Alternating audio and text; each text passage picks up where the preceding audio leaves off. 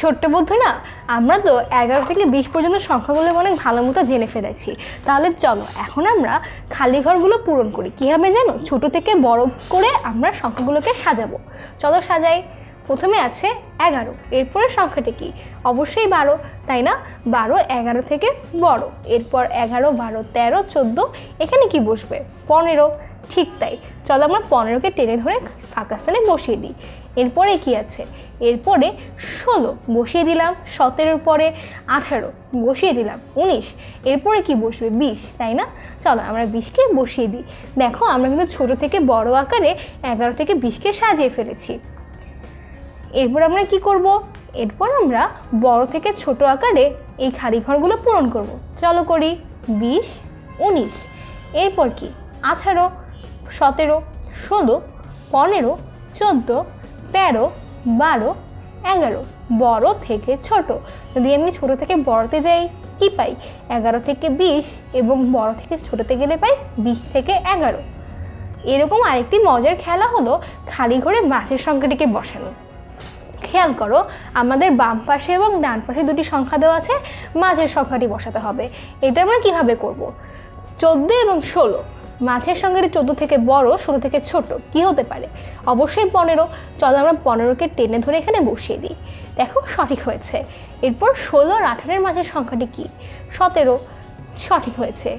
সতেরোর উনিশ। মাঝে কি বসবে? আঠারো বসবে, তাই না? চলো আমরা আঠারোকে বসিয়ে দিই।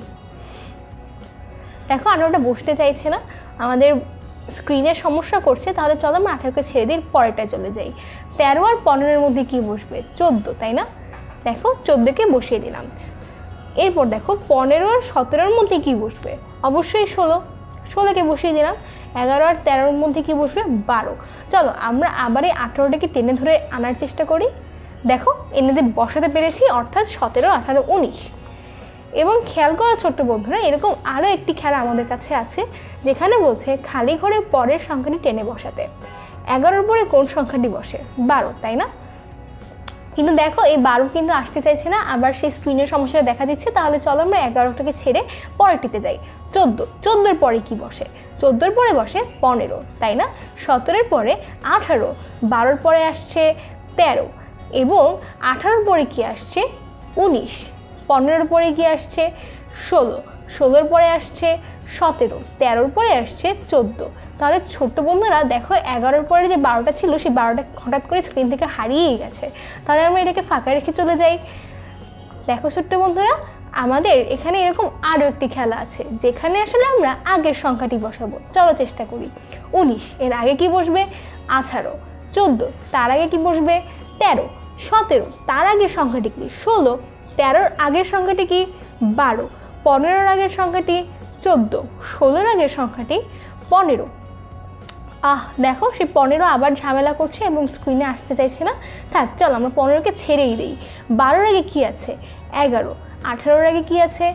অবশ্যই সতেরো। তাহলে ছোট্ট বন্ধুরা, আমরা কিন্তু এইভাবে চারটি মজার খেলা খেললাম যাতে আমরা প্রত্যেকটি সংখ্যার আগের এবং পরের সিকোয়েন্সটা বুঝতে পারি। আশা করছি তোমরা কখনো ভুলবে না। কেন যেন কারণ মজা দিয়ে যেটা শেখা হয়, সেটা কেউই ভুলে না।